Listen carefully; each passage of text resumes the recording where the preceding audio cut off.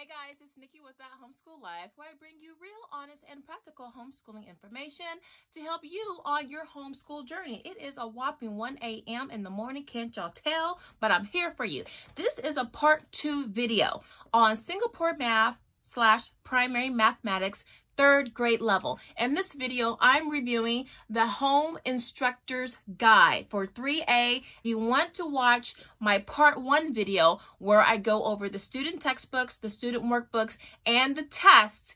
Watch this video here, okay? But don't go watch this video. You're already here. Then go watch that video. But don't worry, I'll have a link down below with uh, the part one video. Okay, so you're not going to miss anything. Watch this video. And then afterward, at the end of the video, it'll take you to the part one. Or you can go down in the description box and catch part one. Okay, so let's get right into it.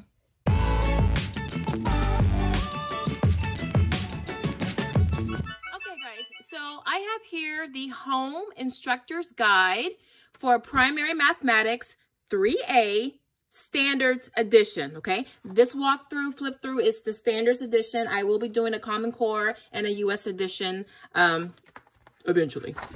Okay, so I'm starting with the home instructor's guide because it's very important. You do need this, guys. It's going to make your life a lot easier. So let me zoom in. This is the introduction. And in this introduction, oh, maybe I zoomed in too much. I'm going to focus on this for a bit because it's very key to give you the overall big picture of primary mathematics. Now, let me just zoom in just a little bit. Don't worry about the stuff on top.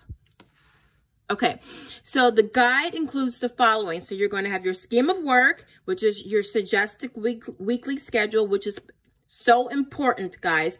Manipulatives, objectives, notes. The notes are actually quite uh, pretty helpful. Materials that you're going to need for the chapters or activities or lessons.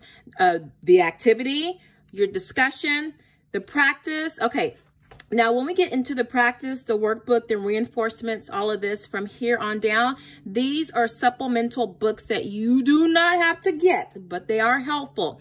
So once you get to practice all the way down, these are optional. These are things that you can buy in addition. Do you need these? No, you do not. Will they help? Possibly. And yes, depends on you. There is a practice book. There is a workbook and the reinforcements would be an, an additional extra practice book. So there are two practice books. And then you have games and enrichment. And they don't say it here, but the challenging word problems are additional things you can use. And on the back, you have the test, answers, mental math, and appendix, okay? So remember, all of these are additional. You don't need them. You will do just fine if you don't get these, but they're there if you want them. That's your introduction. Got it? Okay, so now let's get to the scheme of the work. This is your meat and potatoes, guys, okay? This is going to tell you how to juggle all the balls if, let me zoom in here. If you decide to use the textbook, the workbook, the guide, the extra practice, and the test, this is going to show you how all of it comes together from chaos to order, okay? This is how it's broken down, okay? Basic Excel sheet, spreadsheet. You have your week, your objectives, your textbook, workbook, and guide. That's not in being shy, okay? Now, let's just take one, okay? We're just to go through one. So, we're going to look at the unit, the first unit of the book. Unit 1, Numbers to 10,000, okay? Now we're going to jump into the week, okay? So first week, guys, you just cracked open this book. Then let's just take Monday, week 1. Week 1, Monday. Just make it easy. Okay, day 1 or Monday for me. These are the two objectives you're going to be, your child's going to be learning or you're going to be teaching that day. Now, the child's textbook, this is where these problems, these objectives can be found. So we're going to go to the textbook and turn to page eight. I'm trying, I don't know which child's book I grabbed. Hopefully it's not written in too much. You're going to turn to page eight. Let me just pull out. Okay page 8 to 11, okay? So you look at this, thousands, hundreds, tens, ones, bingo, we're matched up. And it says you're going to be using pages 8 to 11. This is 8, this is 9, 10, 11. Okay, so now you know what you're looking at. So that's your textbook. Okay, then for the workbook, 7 through 9, there's your workbook, 7 through 9. So it's how many pages of work to do? 7, 8, nine, okay? You can always paper clip this or put stickies on it so it's easy to find or easy to take off and move to the next um, day, okay? That's, that's what you're doing. So you're reading through, what I say, page eight? You're teaching this, more practice in here, and you're good to go. Now, before you do all that, just the cover. So here is the walkthrough for the Home Instructor's Guide for 3A Primary Mathematics, also known as Singapore Math. All right, so here's your intro. We went over the scheme of work. That's your nuts. Oh, my makeup getting all over the place. That's your nuts and bolts, okay? This is your weekly schedule, all right? You have your weeks and you have your days. So here's your week, and then each number you see represents a different day to do your lessons, okay? So don't be thrown off by that. You see one, two, three, and then you see one again. Don't worry about that. You could, this could be Monday, Tuesday, Wednesday, Thursday, Friday, Monday, Tuesday. Go in any way that works best for you. I'm going to zoom in just a little bit so you guys can see this better. Okay. And then at the end of week two, you have a review. Okay. So every few weeks, you're going to have a review. Now you're on unit two, week three, and that's addition and subtraction. And then you're doing sum and difference. And then let's move over to week five, which is uh, estimation, word problems, adding ones, tens, and thousands. Okay.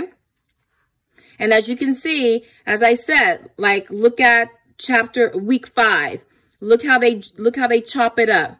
Okay. So you would spend one, according to them, you could spend one day on estimation. And then the next day you can do extra practice. The next day you could do a test or you can just do the estimation lesson and then jump to chapter four and go on to models, to solve one step word problems and then the next day do this and that. Um, so you, you can chop it up any way you want to, which is one reason why I like the scheme of work. Okay. And then you see the rest, subtracting ones, tens, etc. Uh, week seven, we should be hitting that review pretty soon. Yes. And then you have the, the second review and then unit three, multiplication and division, okay? And so hope you guys can see all that pretty well. Uh, looking back, you have your review and then you go into word problems and then multiplying ones, tens, hundreds, thousands, okay? Again, if you'll notice now, look, look how these numbers change. Is my nail dirty? Uh, say we say, let's just pretend that one is Monday. So Monday, Tuesday, Wednesday, Thursday, Friday, and then six and seven. Um, now you can break that up as seven days and then uh, the next day, six starts as Monday or Tuesday, or you can decide, okay, well, I want to do all of this in one week. So maybe I do, uh, one and two on Monday. This is Tuesday, Wednesday, Thursday, and then these two on Friday. You can break this up any way you want to. Okay.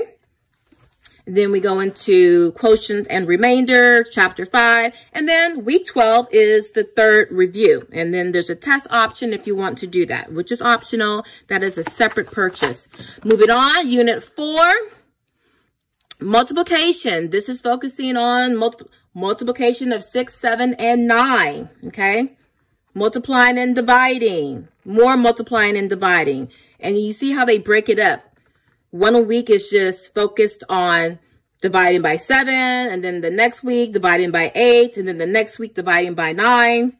Lots of practice there for mastery. And then we have uh, more multiplication and division, and then our review four. And then the uh, next unit five, data analysis. So that's presenting data, probability, not a long section, not a long unit at all. And then that's it. Then you have your review, your last review for this semester or for 3A. And then you have your answers to the mental math, which is optional stuff, and your appendix. appendix, appendix. Okay. Okay, so after you look at the scheme of work, you have your manipulatives. Okay, and it shows you all the different kinds of manipulatives you'll use in this book, in this curriculum, and they give you a description on what they are and how to use them. So you have a whiteboard, dry erase markers, multi-link cubes, base 10 set, place value disc, place value chart. I'll watch my video on my, uh, I think it's called Math Manipulatives. And I, I talk about the place value chart and the base 10 set. And then you have over here, your 100 chart, number cubes, number cards, counters, and place value cards. I think some of, I think when I bought this, I think it came with number cards or something. I'm not sure. I bought this like millions of years ago. All right, so that's your manipulatives. Those are your manipulatives. And then the supplements, they talk about the workbooks and stuff like that. read that on your own. And then this is what the lesson looks like, okay? You're, you're ready to start cooking. You have your objectives, the vocabulary, your notes, and then it goes into how are you going to teach the lesson, okay? But these are more of your notes. And you see how they bold all the vocabulary, okay? And then at the bottom, they'll have the materials that you'll need for this lesson. And then here's your activity. One thing I like about primary mathematics, it it's very hands-on. Very hands-on with the manipulatives, okay? Uh, let's see. Because Primary mathematics operates off of a concrete pictorial abstract model. And I'll discuss that in another video. So here's your activity. It's going to show you how to set it up and uh, what to get out of it. And it gives you talking points for how to teach that to your child. And then again, more pictures when you're showing them the place value map or the chart, you know, it's showing you how to set it up, what it's supposed to look like. And then you have an area, an area right here, the discussion, because there's a lot of conceptual stuff going on in here. And so the discussion area, um, makes little, gives you like little pointers or little things to make note of to discuss with your child or to make sure it's, um, something that you've made known. Well, basically things that you should, you know, really highlight or discuss with your child, okay? And then in the gray boxes, these are the answers to the problems in the textbook. Um, now for the workbook, um, if you're, if you were to use the, um, the workbook, you'll have the answers, um, off to the side as well and but that that's going to be on page seven. And then reinforcement is your extra practice. They don't have challenging word problems in here but they do have the extra practice workbook. And there you go. So for this lesson that was eight nine and ten you just covered it here okay? And then the next page or the next lesson or the next day um, they call problems task so when you see task four to eight, that's really your, your problems. Let me just show you what they're talking about. So task four through eight, pages 11 to 12. So here's page 11. And the tasks are four, five, six, seven, and eight. Okay? So task is just another word for, for the problem or the question or whatever. Okay? And then um, Again, you have your, your, you have your answers here. And then if you're using a workbook, they'll have the answers toward the end of the chapter. So you don't get confused. You, so you don't get confused over, are these the answers to the textbook or the workbook? So the workbook um, answers are, you, are at the end of that, of this chapter in the teacher's guide. And then for enrichment, um, these are extra things that you can do. You don't have to buy anything for this. This is, at least for this lesson, they just give you things that you can do. Um, so usually you're going to be using the manipulatives to um, extend the learning. And that's like lesson one, okay? The first lesson or two. Oh, and these are, these are the answers for the workbook, okay? That will be at the end of the chapter. And then um, uh, one of the lessons for that week, they talk about the game. his or game and it um, gives tells you the materials you need, the procedure, all of that. So that's all you need to do for chapter one, for chapter one. And then there's chapter two. Okay. So I just kind of just did one chapter so you can kind of see what the, um, the guide is like. Okay. So in the back of your home instructor's guide where it says mental math, which is optional, they, they do give you some things to do, but it's to practice being able to recall your math facts basically or uh, procedures that you learn pretty quickly. And so that's going to be in the back of your home instructor's guide, your HIG, and you can just photocopy these if you have, you know, kids or if you want to resell. So that's what that looks like. That's the mental math part. And then you have your fraction bars. So just so you know, you don't have to buy a lot of those manipulatives. Uh, some of the manipulatives that are suggested in this guide, you can get in the back of the book. And I should have said that at the beginning. You just print this out on cardstock, fraction circles, okay? And then in some instances, they'll tell you where this applies to the lesson, okay? Uh, inch graph paper, centimeter graph paper, And there you go.